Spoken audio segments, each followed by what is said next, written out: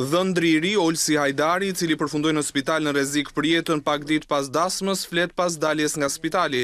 Olsi, i cili humbi bashkëshorten, nuk pranon versionin e vetëhelmimit të nxjerrë nga Policia e Shtetit në komunikatën e parë zyrtare për ngjarjen në fshatin Gjyrë të Librazhdit.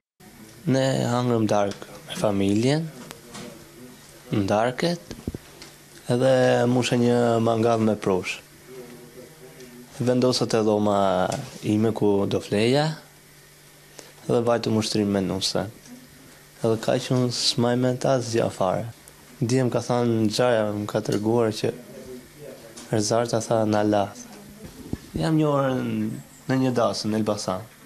Me atë vazhduam lidhje, pastaj dërguam njerëzit e kërkuam, pranuan edhe të shpisë, Bëmë fejesën. Sa kohë kishit fejuar? Bëmë një vit. Policia e ka marrë në pyetje Olsi Hajdarin tre ditë pas ngjarjes, kur u kthye në shtëpinë e tij nga spitali, po të dielën në mbrëmje është sekuestruar dhe mangalli në cilësinë e provës materiale. Gjeta mangallin mrena, e mora, e nxora jashtë, i thash burrit, ti ik e thirr komshijet, thash, t'i japim ndihmën e shpejtë. Ai s'po i jepte as me gjest se na iku truri, na lujti menja.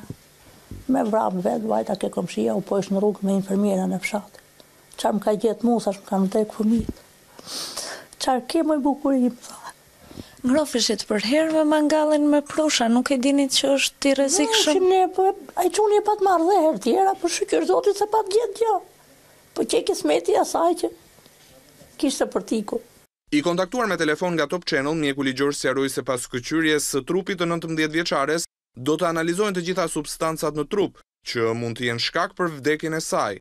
Mjeku sqaroi se përfundimi i analizave merr një kohë tridhjetë deri në dyzet ditë.